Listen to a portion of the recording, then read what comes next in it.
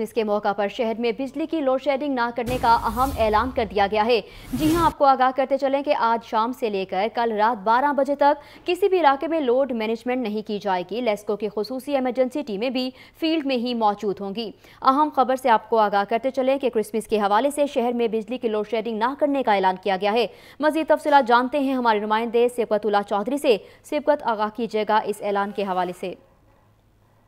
ہاں جی بالکل وزارت توانائی کے پاور ڈویژن نے کرسمس کے موقع پر ملک بھر میں بجلی کی لوڈ شیڈنگ نہ کرنے کا اعلان کیا ہے۔ آج شام سے لے کر کرسمس کی رات بارہ بجے تک لاہور میں دیگر علاقوں میں بجلی کی لوڈ مینجمنٹ نہیں کی جائے گی، جبکہ تمام چرچز اور عبادت گاہوں کو بلا تعطل بجلی کی فراہمی کے لیے خصوصی جنریٹرز کا بھی اہتمام کیا گیا ہے۔ کسی بھی قسم کی خرابی سے نمٹنے کے لیے لیسکو کی خصوصی ایمرجنسی ٹیمیں بھی فیلڈ میں موجود ہوں گی۔